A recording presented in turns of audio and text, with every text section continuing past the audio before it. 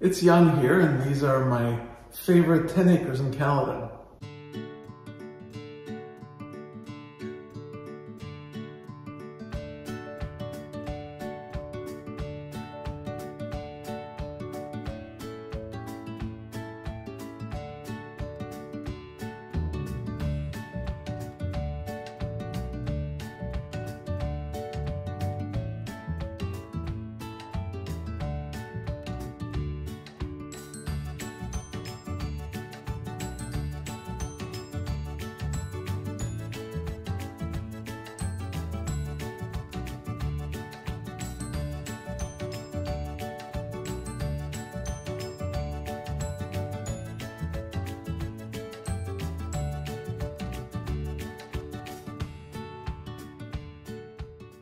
That oftentimes you'll find a big lot, even a big house. But what some of the brokers here will tell you is that the homes themselves need a lot of work.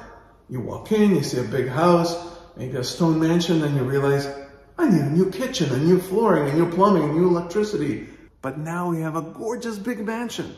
It's like an English stone manor, three stories, full walkout to your pool, gorgeous lawns, a stunning pond, and almost like an English manor style that you and your clients can peruse, walk around, almost 6,000 square feet of living space, parking. Come take a look with your clients or visit it with me this weekend.